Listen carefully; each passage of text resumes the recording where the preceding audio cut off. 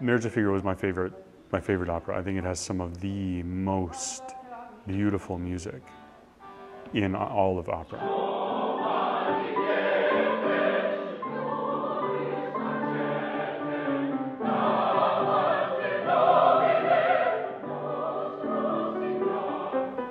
Mozart had a way of writing emotions and drama into the music.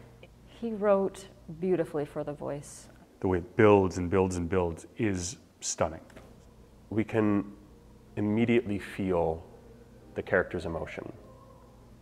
Thank you to the music.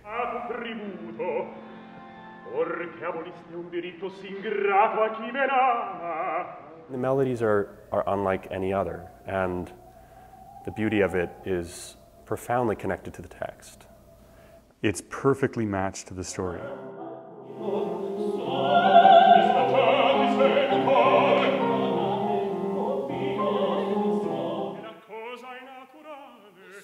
It's like a Rubik's Cube of comedy. They all fit together, and you look at it at the beginning when everything's all jumbled, and you think, my goodness, how is this going to happen? And then Mozart is a genius, and all of these pieces just start fitting together, and you think, ha!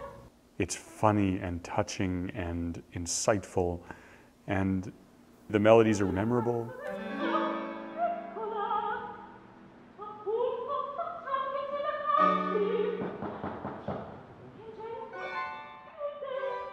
Mozart's such a genius in the way he's set all these songs and, and the feelings, and it's for surely the music. He shows so much color and so much of every side of the characters. It's funny, it's heart wrenching, it's beautiful.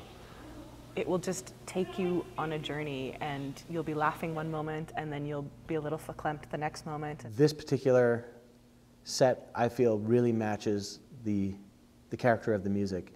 It's very sparkling, it's effervescent, you know, it's all mirrors and it's, it revolves and it flashes and it shines.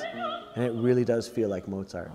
Actually, I have to say all of it's really beautiful, all, all of the music, and I think you'll really, really enjoy it.